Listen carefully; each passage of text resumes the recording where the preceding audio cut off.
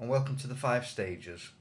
The first stage is to show you basically around your guitar and how it works and a few simple basic chords so you can play a melody or strum along to a simple song. Here's one of our students in stage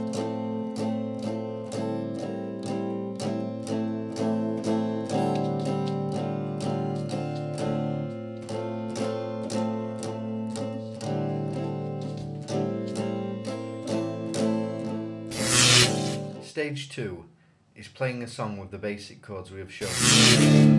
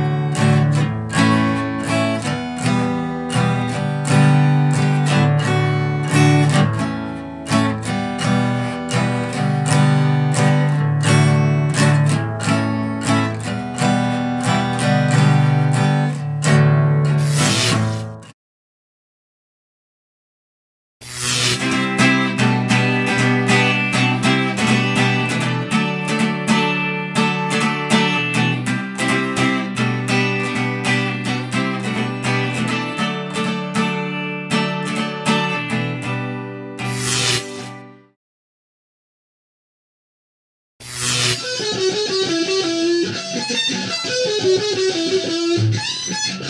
you.